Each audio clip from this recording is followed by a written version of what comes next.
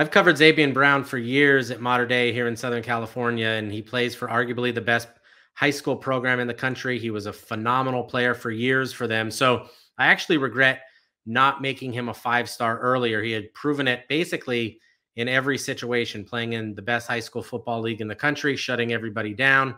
Uh, he was great on Friday nights. He was great against national competition when Mater Dei went on the road multiple times and played elite competition across the country.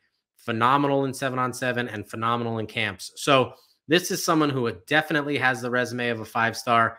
And after seeing him at the All American Bowl against other five stars and other elite cornerbacks, both at Under Armour, at Pauley, and now at the All American Bowl, we felt it was a necessity to move Zabien Brown up. So he will be a five star at Alabama. It looks like he's going to stay with the Crimson Tide with the coaching staff.